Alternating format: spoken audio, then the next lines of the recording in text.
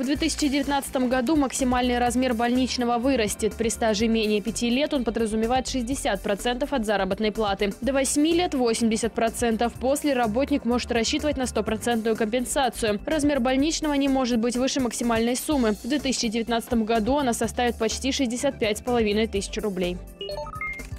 В Госдуме Российской Федерации предложили разрешить привязывать полис ОСАГО к водителю. Сейчас законодательство обязывает страховать конкретный автомобиль. Для водителей, использующих более одного транспортного средства, это приводит к необоснованным дополнительным расходам. За последний год долги россиян перед банками выросли почти на 22%, превысив 14 триллионов рублей. Каждый работающий житель страны в среднем должен банкам 199 тысяч рублей. Самыми закредитованными оказались жители Севера. На Ямале на одного работающего в среднем приходится 422 тысячи рублей.